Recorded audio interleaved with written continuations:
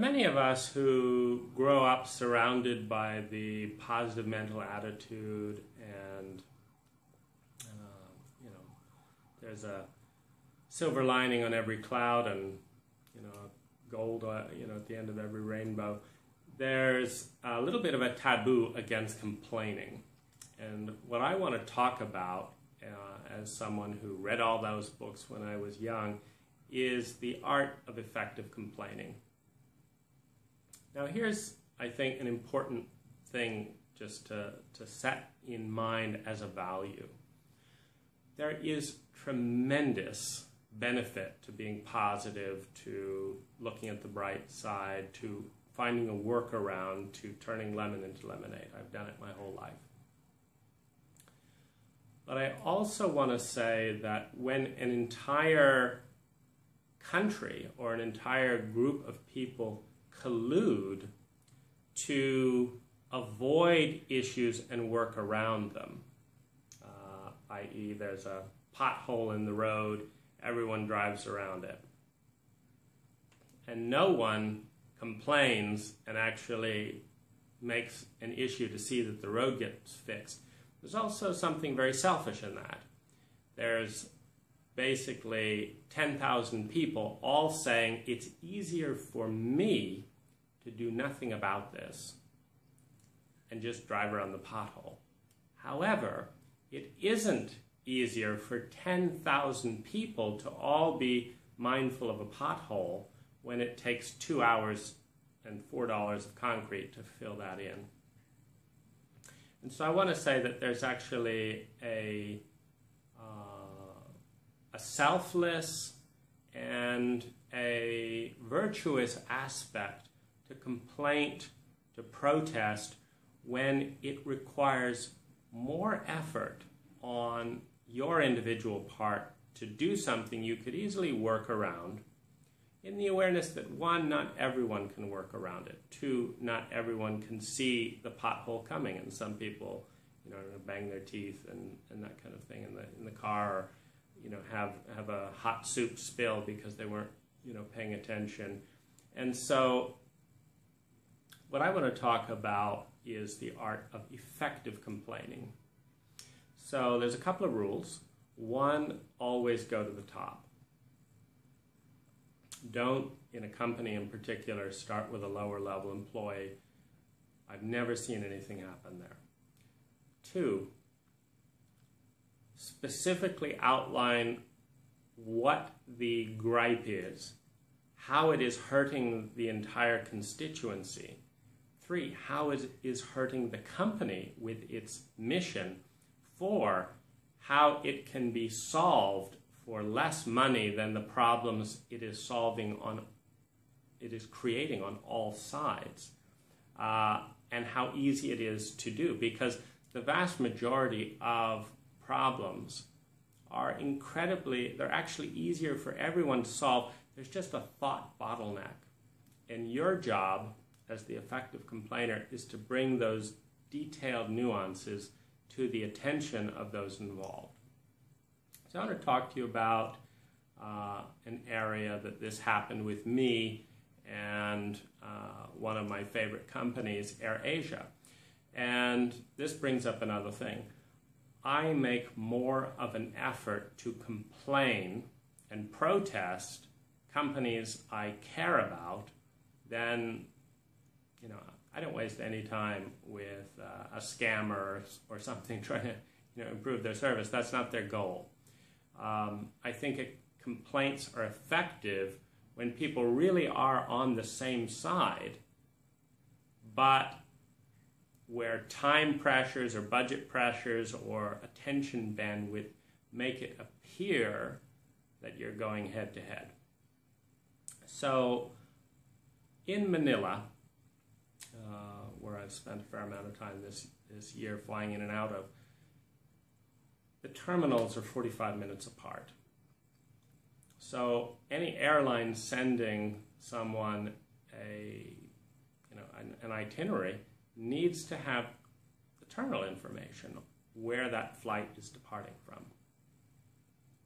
And in Manila, it's kind of broken up by different airlines and domestic and international, and it's it's not um, anyway. It's not cut and dry, and there's four terminals. So uh, I get my terminal email. Well, I get my email from AirAsia, and I'm about to leave for the airport, and I'm scanning the email, and it doesn't say what terminal. This is concerning. If I go to the wrong terminal, I'm going to miss my flight. I click Manage Booking. That's the only link that seemed there. I look, there's no terminal information. Um, I click another page. It says, poof, we're sorry, this page isn't here. Uh, I stumble around the site for about 10 15 minutes and find you know, domestic Air Asia flights from Manila are from this terminal, and I think that's a pretty safe bet. So I go, but I can't remember how I got there, and I'm concerned that I'm going to spend another 15 minutes the next time stumbling around. So I go to leave feedback, and I'm signed into AirAsia, and I click feedback, and it says, "What's your name?" I was like, "What do you mean? What's my name? You know who I am. I'm signed in." And they want to waste about 10 minutes of my time filling in repeat contact and what's this about and what and, and what's your itinerary number and it's like this is a joke so as i say following rule number one don't deal with lower level employees they, they don't have the authority and they don't have the mindset to calculate i calculated that this is hurting air asia's core competency because core competency for every business, in a transportation business, it's time. Can we save people time? That's why people fly. Get people there on time. Manage your time effectively. Help you catch your flight. The core competency is time. And they've just wasted 85% of my time reading boilerplate about international and national baggage and da da da. So I make a, a detailed recording of every time wasted that hurts the airline, that hurts me, that's insulting, that's irritating, and completely unnecessary. When I say unnecessary, with a bit of different programming, it all of this disappears. It's not like it's costing $10 more per flight or something to make any of these changes. So I have my assistant find the email of the CEO of AirAsia and the chief of executive, and I send this recording to both of them, saying, "You've, you know, you're one of my favorite com- companies. I fly you in part because your efficiency, and you've just wasted a lot of my time unnecessarily. Unnecessarily, and there's easy ways to improve." So that email then gets, uh, Tony responded, thanks, I, and, and sends it to his, um, uh, his chief web designer, who comes back with some reasons why the terminal information isn't there that don't seem valid to me. So I email back and say, look, um, if that's the case, then you need to solve it this way, not at my expense taking 15 minutes and all this circuitous routes. Second, you haven't addressed the other four issues of wasted time in my email, and I keep the CEO in the loop. Uh, next email I get back is terminal information will be added uh, to, you know, and so now my emails will have the terminal information boldly displayed. Great. See, because this is not just for me, this is affecting thousands, perhaps tens of thousands of passengers every year who are having the same issue. Two, they're working on a new UI. And three, uh, I'm invited to, to coffee with the chief, you know, the chief web, uh, you know, designer. For uh, they're going to send me the new UI to test out on behalf of passengers um, and give some feedback before it goes public. So this is admittedly taking some of my time. I've paid my assistant uh, $20 to find the email address. I've uh, emailed and followed up. But there's a, I feel it's potent time because if tens of thousands of passengers are saving an average of five minutes, that's 50,000 minutes a year that people can be doing something more intelligently with going back into circulation, hopefully being used to spend time with people's families and relax and not have such a high stress life. So, this is an example of effective criticism, and I mentioned it because I've actually been surprised. I've been so focused on being positive for most of my life and understanding and just, you know, avoiding and working around, which we can all easily do so many of these problems, that I have spent almost no time uh, using the power of complaint, of education, of, of request, and of protest.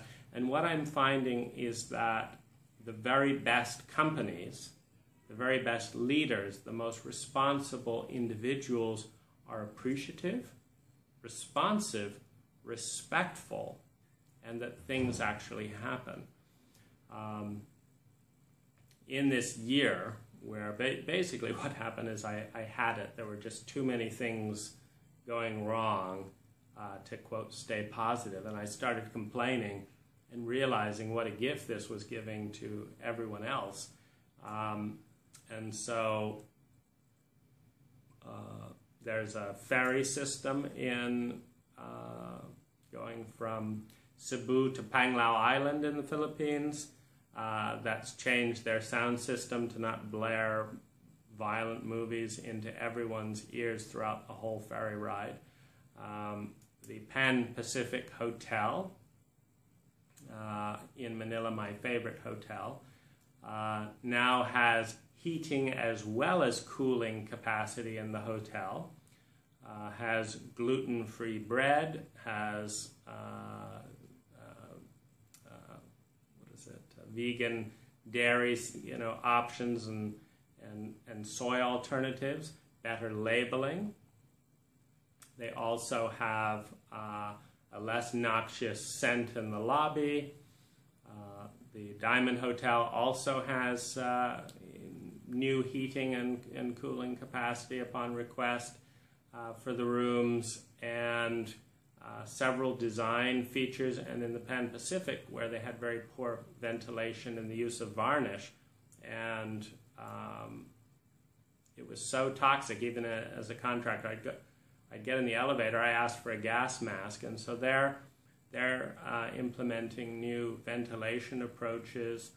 Um, and so all of these things, of course, help me but they also help the safety and health of the employees. They help the all the other guests who may not be educated uh, or who, being more deferential than we are in America, in Asian culture is just more respectful of you know whatever anyone else decides to do that should be the way of it and let's not say anything. But when health when ongoing convenience for lots of people is effective or is affected, it's a real gift to all of them to educate, to show alternatives, and to really try and partner with the hotel, which is not to drive up expenses uh, astronomically, but actually show how is the cheapest way that something could be done. Good luck in your effective complaining, and I'd enjoy hearing if you uh, present something effectively in a way that benefits uh, you and everyone else involved.